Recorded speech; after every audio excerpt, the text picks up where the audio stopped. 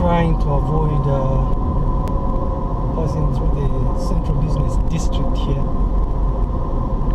I didn't really bother to check how many additional Ks I'm going to have to cover here, but that's okay. Take the next left. Just-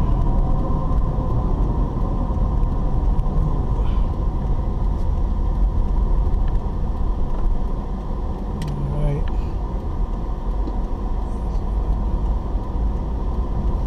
Continue for one kilometer.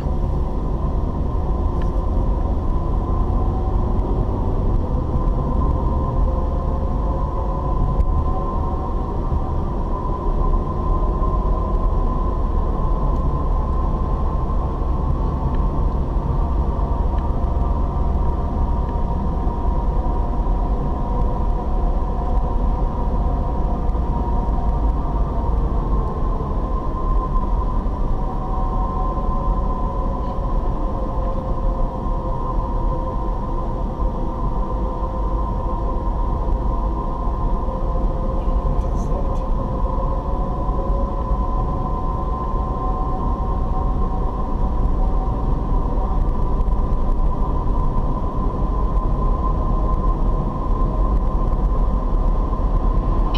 In 400 This guy, there's a sign that clearly says don't overtake, and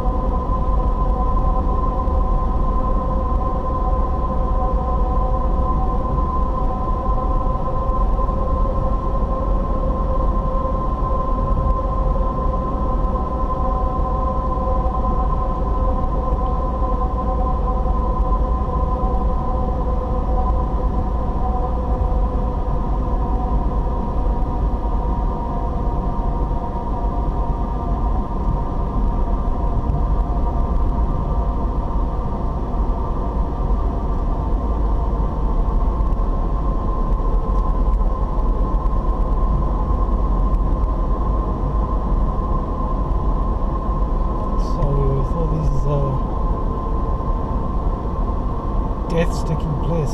Well, not that there are a lot of deaths, but picking up strangers in the middle of nowhere is the last thing you want to do. Anyway, so I'm going like uh, vehicle breaking down and expecting the same people I just drove past to help, I guess. But that's what is this place?